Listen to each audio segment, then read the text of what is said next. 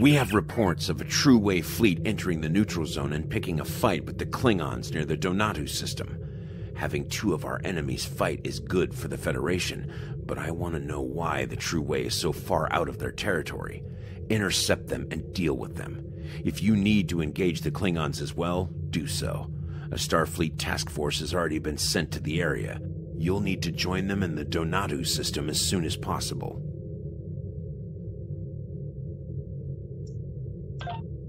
Until next time.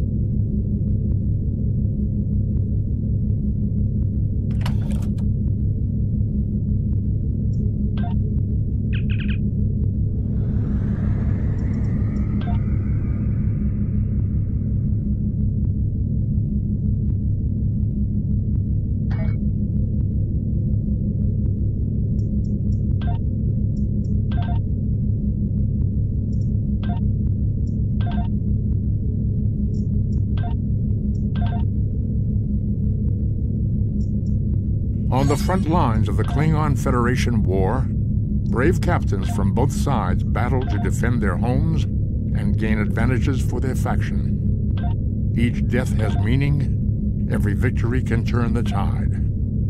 These are the conflicts that will determine the fate of the quadrant.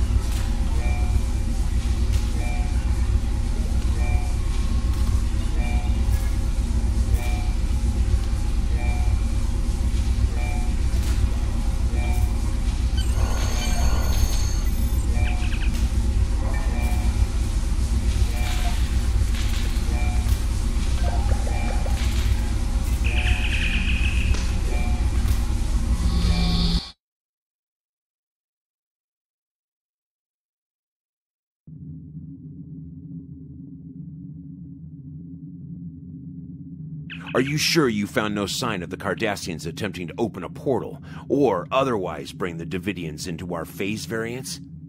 This is troublesome. There are pieces to the puzzle I don't have yet. Let me do some digging and I will be in touch. And Congratulations, Commander.